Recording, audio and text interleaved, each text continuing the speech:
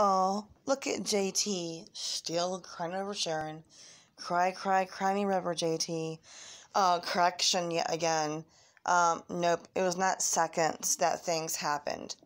You lying ass piece of shit. Gorilla. Denture King, whatever. First of all, yeah, okay. Uh, shit did not happen until at least midnight or one in the morning after we had gone live about things with Percy. After we had the live, after, okay, we're on the couch talking, whatever, blah, blah, blah. JT went to my room and went to bed because why? Um, I was talking to Sean. It was cool with JT that I was talking to Sean, my friend from Florida. I've known for a very long time. And after I talked to Sean on that live, I went up to my room.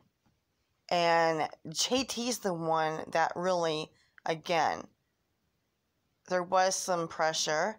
I felt pressured. He's the one that instigated. So, no, it didn't happen in seconds. I didn't jump his bones in my front steps or the driveway. You lying ass bitch.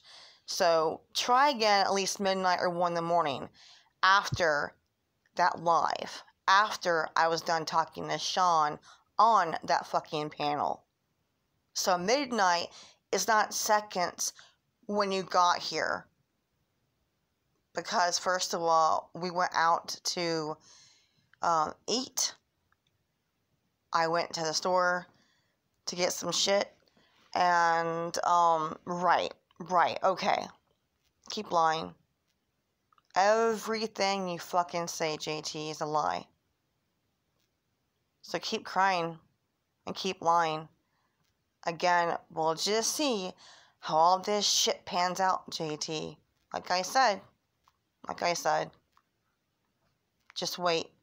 just wait.